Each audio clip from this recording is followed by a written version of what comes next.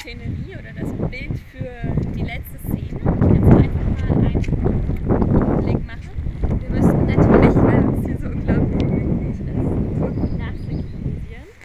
Ähm, das ist aber eigentlich ganz gut, weil das reinpasst in diese Kühle oder das Artifizielle, was wir ein bisschen machen. Sitzt man hier in so einem Zweier-, Dreier-Grüppchen und dann hätte man im Hintergrund irgendwie hier dieses Panorama dieser Solarzellenlandschaft. Und ähm, genau, man könnte das aber auch überlegen, wenn man zum Beispiel da unten hinsetzt, da ist die Struktur halt wunderschön irgendwie. Und da muss man halt irgendwie gucken, wie wir das auflösen.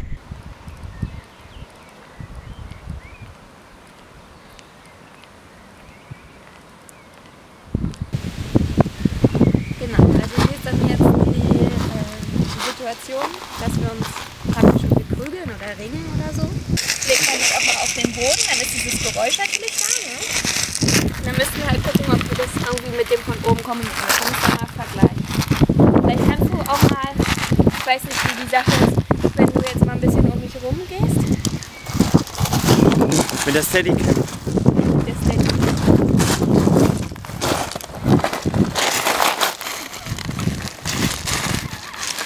Wie bist du denn jetzt überhaupt dran? Also, Sehr, sehr, also relativ telig. Okay, gut.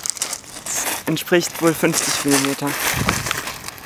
sind ja jetzt praktisch in dem Bereich dann ungefähr und würden sich dann in, in so einem Spektrum ungefähr auch bewegen. Also wahrscheinlich jetzt nicht irgendwie das Boot und dann herumlaufen oder so. Wahrscheinlich eher auch auf der Stelle. Eigentlich wäre es mir am liebsten, wenn es halt wirklich auf den Kopf drauf. Vielleicht können wir für diese Geschichte auch einfach ein bisschen dichter rangehen. Hier, weißt du? Es ist halt ein bisschen schwer jetzt für zwei Personen irgendwie den Raum zu bin ich ja auch ein bisschen sehr ausgegangen.